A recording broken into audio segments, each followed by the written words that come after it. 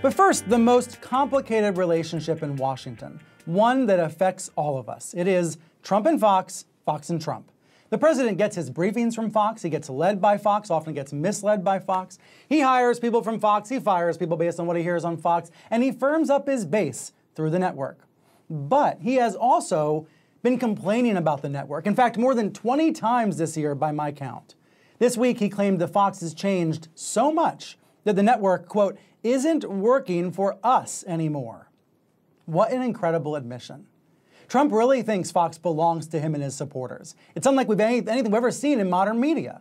Forget how Fox's critics view the network. Trump is saying that he views the network as an arm of the White House and the GOP.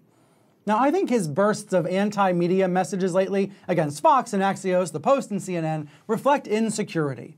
With the re-election campaign on his mind, he doesn't want voters to know about the messy reality of life in the Trump White House. He hates the leaks, and he really hates when people, especially on Fox, cover his Democratic rivals. So he lashes out. That's what keeps happening. He sees segments like this, with a DNC spokeswoman being interviewed on Fox. Now, his own spokesman was on the air just a few minutes later, but Trump hated seeing the Democratic spokeswoman. So think about this. One day he's promoting Jeanine Pirro's book, the next day, he's saying Fox is so bad that we, again, the word we, have to start looking for a new news outlet. And then what did he do the next day? He called in to Brian Kilmeade's Fox News radio show. This, this is Trump whiplash. It's caused by his impulsiveness and his need for attention. Look what he said to Brian Kilmeade.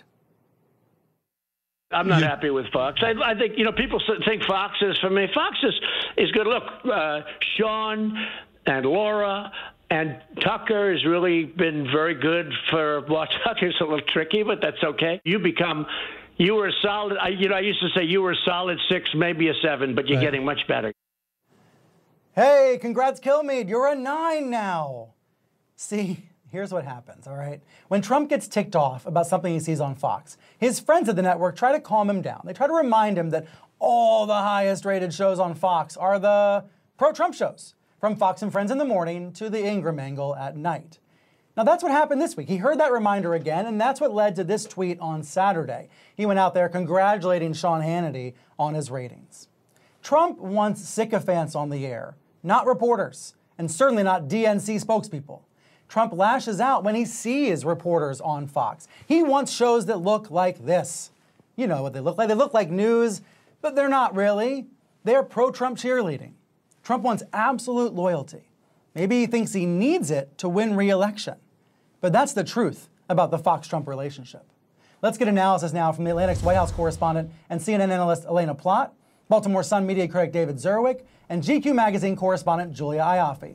Julia, you've studied Russia and other authoritarian governments. Does the way Trump views Fox remind you of how other leaders elsewhere view their state run TV networks? Absolutely. It's, you know, it's dear leaders, state run TV.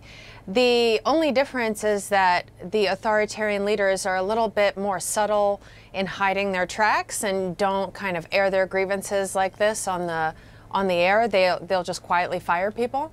Um, but it is, you know, all the stuff you mentioned, all the, the rotating door between the Trump administration and Fox News. Uh, you know, he'd be forgiven for thinking that it's part of the White House and it's just not running the way he wants it to. Uh, David Zurawik, what's your reaction to this relationship? It's a pretty twisted relationship, I think, because President yeah. Trump just does not appreciate how journalism functions. So as a result, he lashes out when he sees acts of journalism on Fox. He does. And, you know, the, the, signs of a fraying of this relationship, I think, uh, mm-hmm. are there to a little bit, but I'm really skeptical of this. This is a dance that Trump does and Fox does. Don't forget, Fox was founded as an ideological political operation, not a journalistic operation.